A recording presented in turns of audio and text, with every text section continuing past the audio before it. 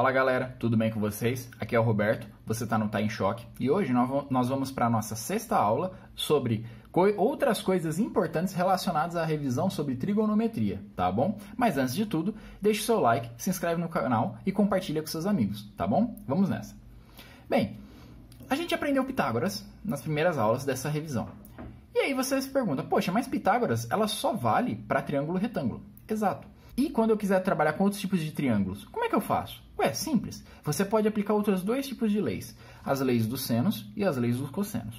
O que, que acontece com as leis do seno? Ela relaciona dentro de uma circunferência para um triângulo inscrito sobre ela, ou seja, você tem a circunferência e dentro dela você tem um triângulo, certo?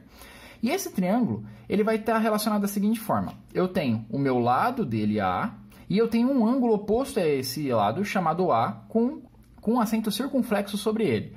Esse A é mais ser meu ângulo, tudo que tiver com acento circunflexo, e só se tiver a letra vai ser o meu lado. Então eu tenho B e o ângulo referido a ele, e eu tenho C e o ângulo oposto referido a ele, tá? Dentro dessa circunferência nós temos o raio dela, tá? E o que a lei dos senos nos diz? Ela é uma relação para qualquer triângulo inscrito dentro de uma circunferência, tá?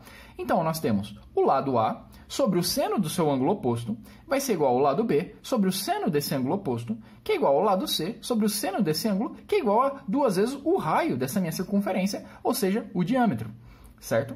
É, se isso serve de exemplo para você em motivação, cálculos com máquinas de usinagem, as chamadas CNC, como a gente vai estudar futuramente, eles envolvem leis de senos e leis de cossenos justamente para permitir a programação e avanço de ferramentas de corte sobre o material. É muito mais fácil você ter essa relação aqui do que você ter que ficar utilizando de métodos computacionais para você calcular ponto a ponto a distância a ser percorrida, a velocidade, etc. Você pode, com uma simples relação, calcular os pontos e calcular a distância e também saber se a sua ferramenta, por exemplo, ela é capaz de entrar nessa nessa figura e desenhar, por exemplo, um triângulo sem maiores problemas, se não vai bater no raio, etc. Tá bom?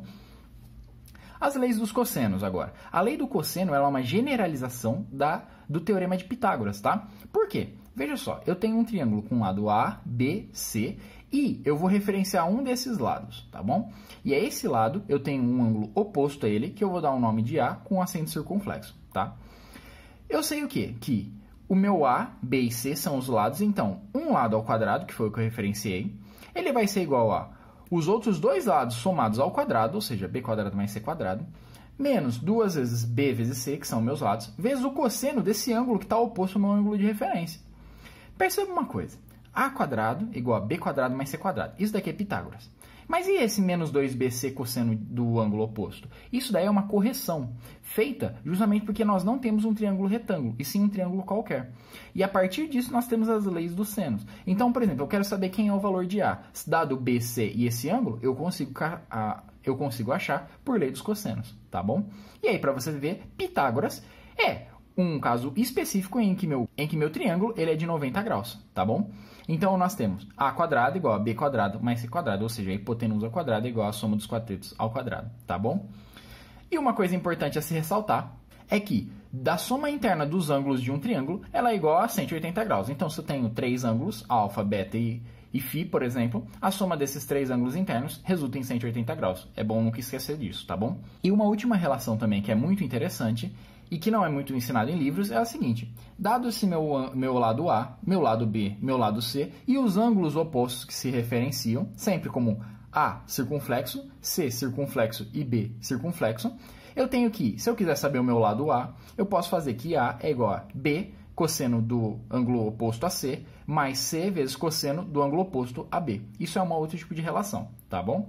Ah, Roberto, vou sempre usar essas relações? Não, tá mais a critério de curiosidade essa daqui. Essas duas aqui são mais fáceis de você encontrar. Essa daqui é essencial para o nosso curso, tá bom? Mas em todo caso, serve como, como ilustração para você entender onde pode ser utilizado e até um dia se precisar calcular alguma figura.